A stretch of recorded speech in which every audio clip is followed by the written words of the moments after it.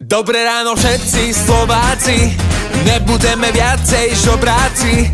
Už nám bolo vážne na tyku, všade kúkať na politiku.